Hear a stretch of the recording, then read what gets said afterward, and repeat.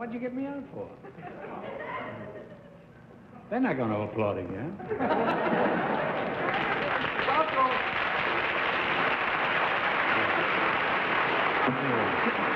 I, I don't want to come. Say it, Garry. Well, I just wanted you to open the show again because you opened it so beautifully, only we weren't on the air. Oh? Yeah, and uh, good luck. Are you ready? Why did they shove me out here? huh? Are we on? My name, Jose Commander. My name, Groucho Marx. Wow! Where do I go now? I've Got a Secret brought to you tonight by Dream Whip, the whipped coffee with country fresh flavor. From General Foods. Live from New York, here is I've Got a Secret, starring Garry Moore.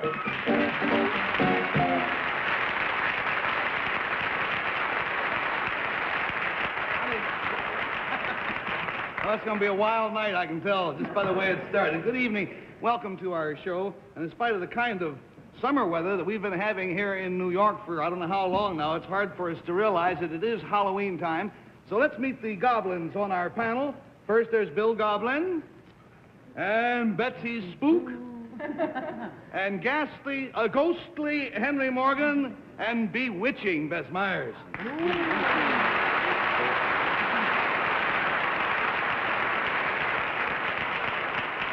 Now, panel, if you're all set, we're all set, and we'll welcome our first contestant, please. Will you come in, sir?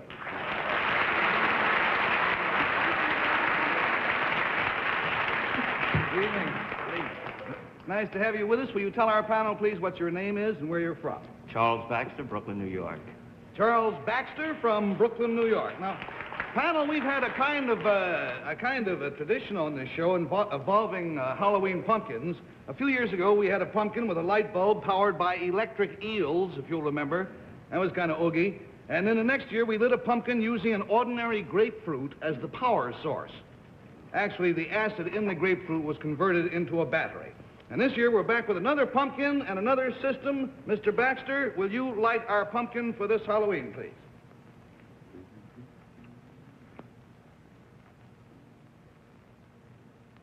There she goes. She's all lit up. Happy Halloween. And now, sir, uh, secure? All right, if you'll whisper your secret to me, we will find out how you are lighting up our pumpkin on this Halloween. How about that?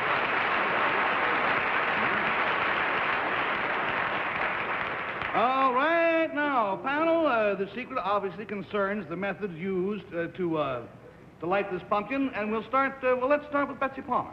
All right, Mr. Baxter, um, is whatever it is that's generating the power inside of that little round sphere. Yes, it is. Marvelous. Uh, Good. I'm glad you like that question, Henry. He said it's a marvelous question. I may just guess this right off the bat. Is there atomic energy in there?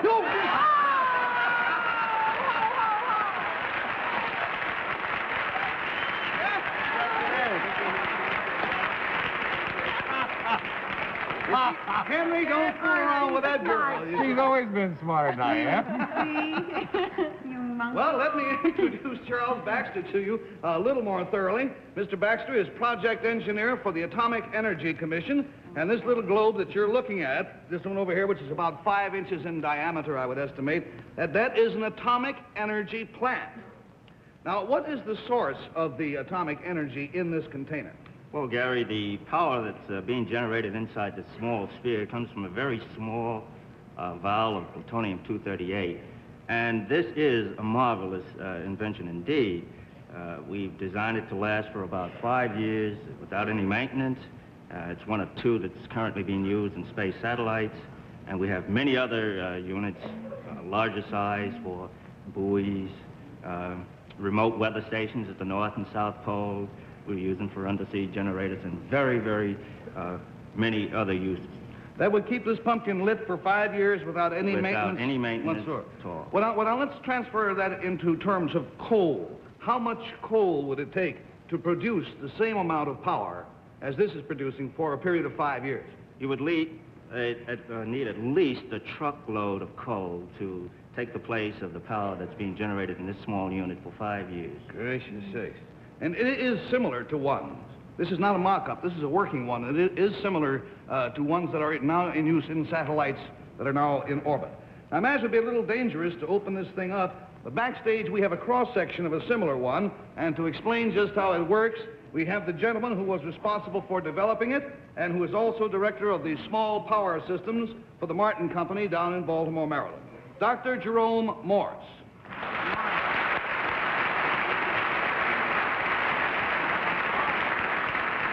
There we go. Evening, Dr. Morse.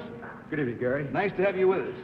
Well, thank you. It's nice to be here. Now, this is a mock-up of an atomic uh, generator. Yes. Uh, this, uh, this is based on the same principle that the smaller unit uh, is uh, based upon. Uh, however, this is designed for earthbound applications, the other being compact, light and weight, designed for space.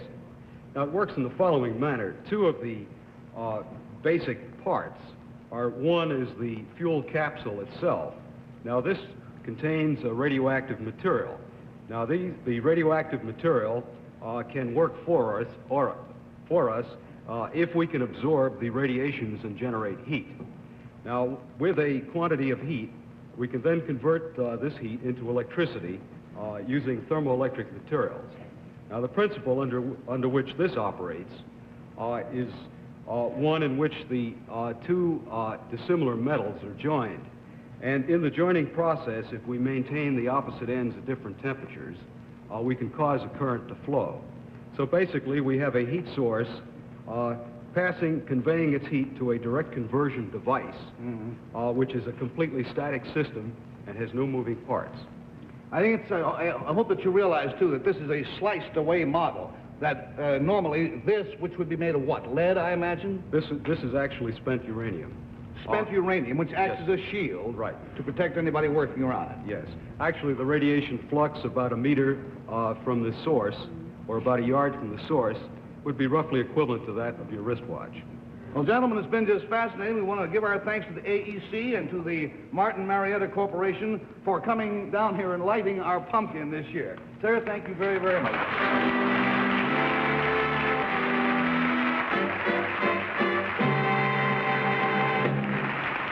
Well, be back with you again in just a moment, but first, let's watch this. El panel, at this moment, I'm going to have to ask you to put on your blindfolds. You'll be happy to know that you'll be able to remove them as soon as each of you has finished his individual round of questioning. So, with the blindfolds all in place, let us introduce this evening's special guest, and I do mean a special gentleman indeed. What can I say after I say Groucho Marx?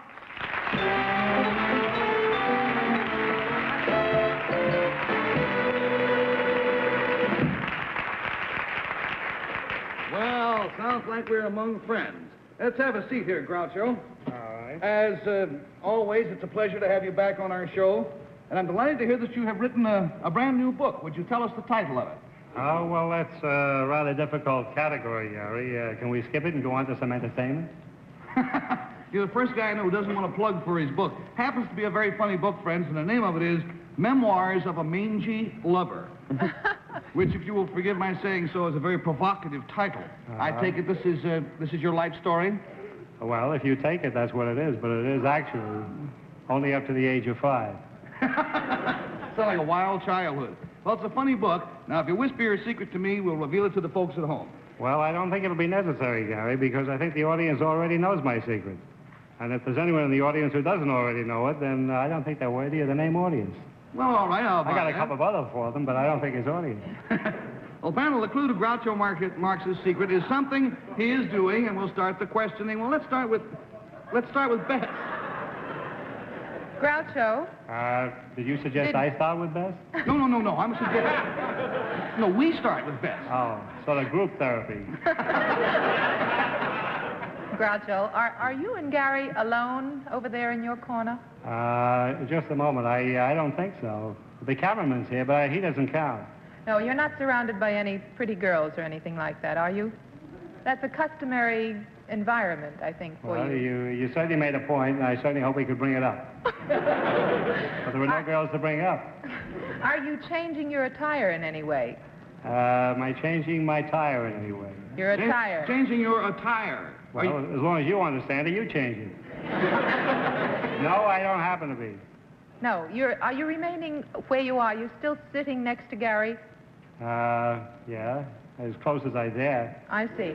Uh, your voice sounds a little strange, as though you were speaking in something while Yeah, you I'm were... talking through my mouth, and it's a little confusing. Twenty dollars Can I- down, sixty dollars to go. You may remove your blindfold, Bess. Don't tip off anything that you see, and we go, please, to Bill Cullen. Uh, Groucho, when I ask a question, which I'm about to, is it you who answers me? Uh, it certainly is. Uh, at least it better be. Or one of us won't be paid. Maybe I, both of us won't be paid. I, I agree with Bess in the sense that the voice, there's a different timbre in the voice. Uh, well, uh, maybe I got a tree in my throat. Is there anyone on the stage beside the panel and, and the cameraman and that, beside Groucho and Garry? Uh, what he wants to know, Groucho, is, is there anybody out here aside from you and me? Well, there's a whole audience out there.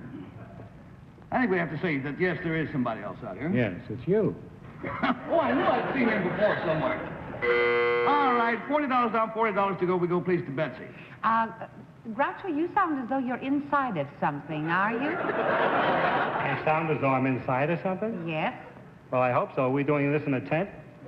You show? No. Are you on inside of something on this stage? You mean if I am I wearing stretch panties? Are you inside of something, say, besides that chair that you were sitting on when you first That's came by out? John Gunther. Yes, I read that book. yes. Inside Groucho Very dull, Marx. too. Uh, is this something physical that's um, being done? With you? Um, uh, well, I would say so, yeah. I heard some chingling, uh, chinking, like clanking of Uh, that was my paycheck. That's you. All right, $60 down and $20 to go. We go, please, to uh, Betsy, you may remove Oh. your mask, and we go to Henry Morgan. oh. Groucho, I don't uh, mean to sound uh, the way it's going to sound, but you sound as though you had your head in a bottle. Uh, was that supposed to be an insult? No. Not true. I had my bottle in my head a little while ago.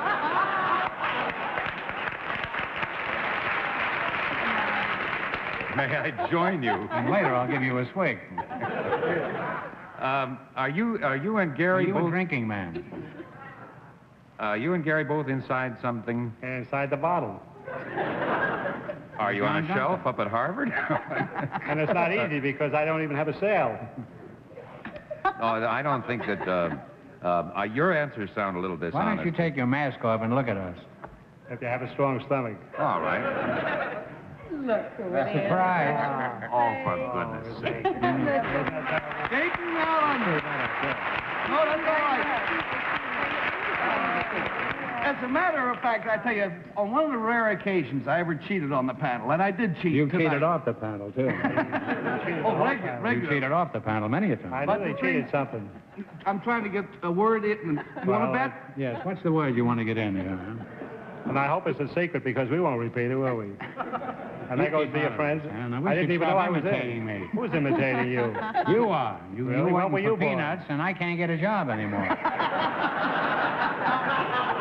If you worked in a zoo, you'd have to work for the same thing as I do. This is remarkable. You know, th- this, of course, is, is uh, the famous Dayton Allen from television. I'm sure you all know Dayton. But the funny part about it is not only does his voice sound like him, but uh, But he doesn't look like me. Actually, I am him. you know he can I make wish his he was, mind. and I could go home. I think we are home. That'll certainly come as a shock to the wife, won't it?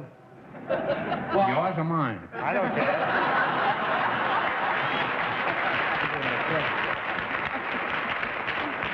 Why don't Why don't both of you grouchos go, upstairs, try to figure out which one is who? Thank you both very much for being here. Good luck with the book. Thank you. Dayton Allen, thanks You a million. the book once more?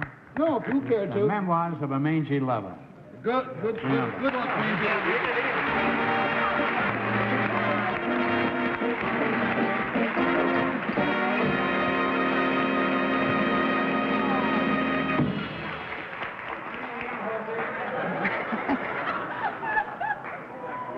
Still saying my name, Jose Menes, and good evening. Oh, now let's uh, welcome our final contestant, please. Will you come in, young man?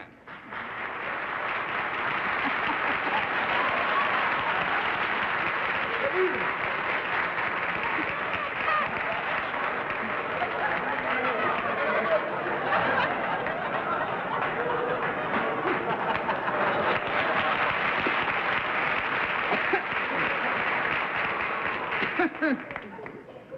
like that all night. I tell you, too. All right, young man, will you tell us what your name is and where you're from? My name is Rusty Stubing, and I'm from San Antonio, Texas. Rusty Stubing from San Antonio. Now, panel, this young gentleman has a big smile on his face for two reasons. First of all, Groucho's been kidding the pants off of him back there. But more important than that, he has a big smile because he has just won a $5,000 prize. So, Rusty, if you whisper your secret to me, we'll find out what you won the prize for.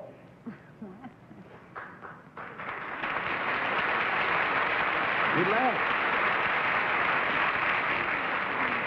Now, panel, to help you classify Rusty's secret, the clue concerns what he did to win the $5,000, and we'll start the game at the top of Bill Cullen this time. Uh, was the $5,000 you won Rusty in cash? Uh, I mean, as opposed to a scholarship or something like that? It wasn't cash form? It was in a, it was in a check. Check, yeah. Check. Okay. he has spent a lot of time with Groucho back there. uh, Rusty, does the briefcase that Groucho carried out here for you have anything to do with the way you won the $5,000? Yes, it does. Is, is part of that which helped you win the $5,000 in the briefcase you brought out here? Yes, it is. Is it something that you made that is in the briefcase? No. Something that you broke?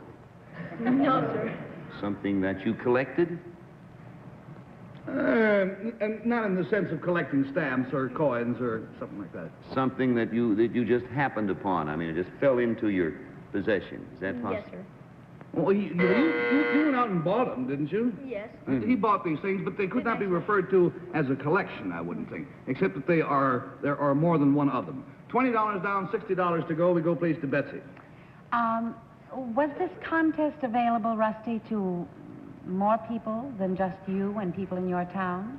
Yes, it was. Was it a nationwide sort of thing? Yes, it was. Was it um, advertised in magazines or newspapers? Yes. It was. It was written about in, it was written about in, uh, in newspapers. In newspapers? uh, As a, as, Um, does, does it have to do with uh, newspapers themselves? No, it doesn't. all right, there's $40 down and $40 to go. We go, please, to Henry Morgan. Rusty, did, are, uh, are the things that you have in the case things that you got, like, one each from a lot of other people? No. Did you, were there other people involved? Yes, there had to be other people, other people involved. In the sense that you got something from other people? Oh, no, no. Oh, no? These are manufactured objects which he purchased, but which he needed to achieve uh, that which is expressed in his secret. All right, did you, did you buy different things and put them together so that they would work? No, sir. They, it, it doesn't make anything, No. No. whatever you have in there. No, It sir. just sits there. in the dark. Um, gee whiz. Are- are- $60 down, $20 to go. We go, please, to Bess. Now, Rusty, first, I, you know, you look like the chairman of a corporation when you walked in with that shoulders back and wonderful smile. Was this some kind of educational competition that you entered? No, it wasn't. No? Uh, would these things in the attache case be considered scientific? No. No. Are they uh, solid? Say, are they made? Would it help us to know what they were made of? Uh, it would only confuse me because they were, they're made of something in these days entirely different than, than what they were made of in my day. Was the contest held through the school at all? Did it have anything to do with school? No. No. Um, I have no. Well, we've lost the $80. Marble? If you were observant, Are they marbles or something like that? something like that, yes.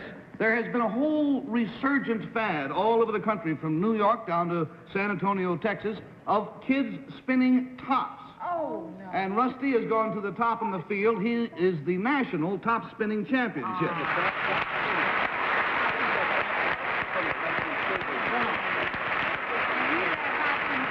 But they don't make them out of wood anymore. No, they don't make, them well, they make some of them out of wood, but most of them are made out of, out of plastic. And uh, Everything goes things that this young man can do. Well, first of all, Rusty, let, let me ask you this. Uh, how long ago, I mean, now you're national champion, how long ago did you first start spinning tops? I started spinning tops in January. So less than a year, he became national champion, and uh, you also won a regional contest of some kind. How long had you been uh, spinning before you won your first contest? I'd been spinning my tops for a month. Just about a month. And, of course, like any good sportsman, he has here a, a great collection of tops of all sizes and shapes, many of which you will see. And so just pick one. And he's going to start out with what he calls an easy stunt. What, what is his first one? His First trick is called the skyrocket. The skyrocket. All righty. And there it goes. And whoops, up in his hand, and it's still spinning.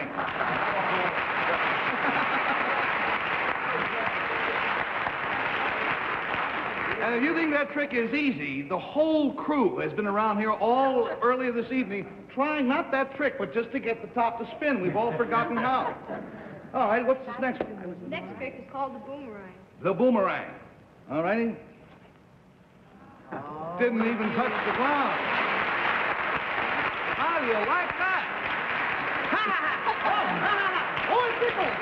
It tickles. Ooh, that tickles. All right, that's the boomerang. the boomerang. And, oh, this is the thing where, where we go for the marksmanship? Uh, ready? I don't need my eyes much anyhow. A little lower? All right. Ready? How do you like that?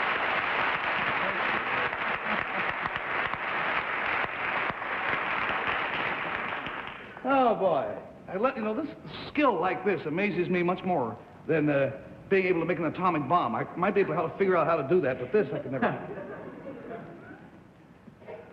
The next trick is called the man on the flying trapeze. Man on the flying trapeze.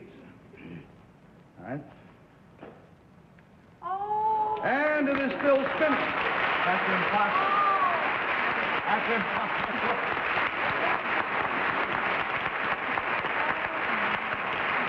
Funny, I had exactly the same reaction when I first saw him do it. I said, that's impossible. He said, no, that's not impossible. It's the next one that's impossible. and, uh, all right, this is called one? The San Antonio twist. San Antonio twist. All right, now you gotta, you gotta follow this one closely because you won't believe it. All right, here we go. He catches it as he did before. Now watch him loop it around behind his back. Oh! Miss it. That's all right. We got time. That's the first time he's missed. I've seen him do, do it three or four times. That's called a miss, and it's one of the easiest.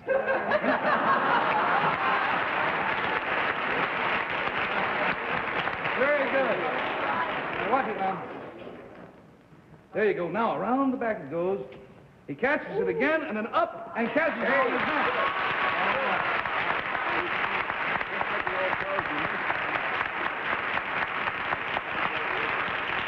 And now one with, well, we, we call this one the double Boomerang. the double boomerang. I won't tell you what it is, but watch it closely because it has a kind of a surprise ending.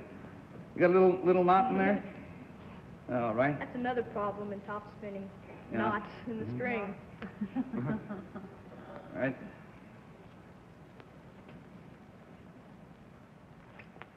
It separates.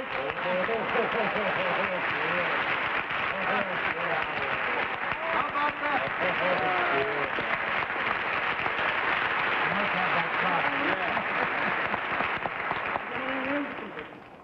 And anyone, he is he is very generous with his talent. He has taught he has, he has taught me how to do it. I think. I mean, just spin it. I'm not talking about anything fancy. I mean, just get from the top to spin. It's been so many years, at least ten. Good luck. Very good.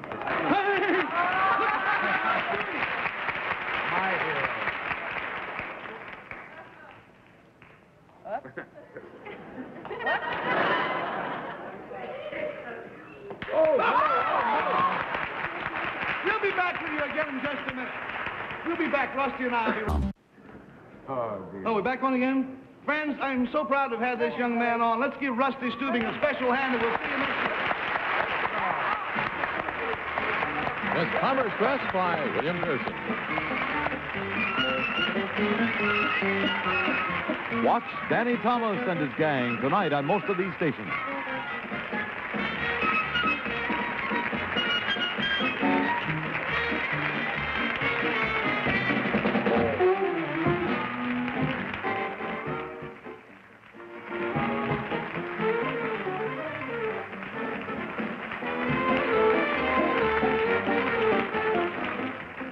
Out for? They're not going to applaud again.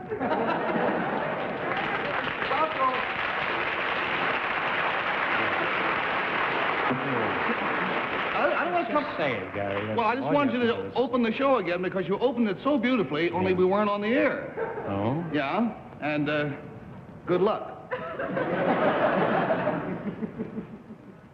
Are you ready? Why did they shove me out here? huh? Are we on? My name, Jose Commander.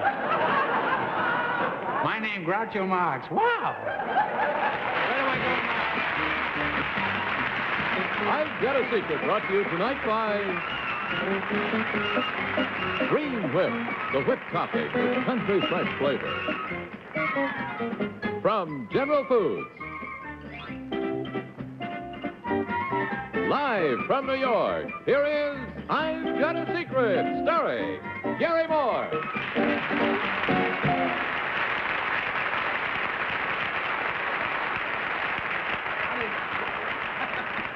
Well, it's going to be a wild night, I can tell, just by the way it started. Good evening.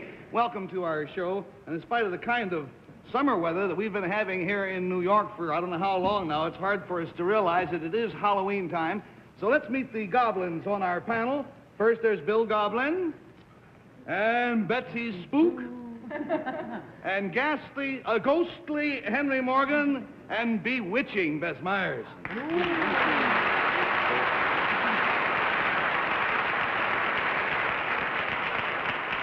Now, panel, if you're all set, we're all set, and we'll welcome our first contestant, please. Will you come in, sir?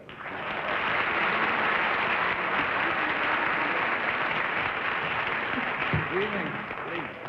Nice to have you with us. Will you tell our panel, please, what your name is and where you're from? Charles Baxter, Brooklyn, New York. Charles Baxter from Brooklyn, New York. Now, panel, we've had a kind of uh, a kind of a tradition on this show invo- involving uh, Halloween pumpkins. A few years ago, we had a pumpkin with a light bulb powered by electric eels, if you'll remember. That was kind of oogie. And then the next year, we lit a pumpkin using an ordinary grapefruit as the power source. Actually, the acid in the grapefruit was converted into a battery. And this year, we're back with another pumpkin and another system. Mr. Baxter, will you?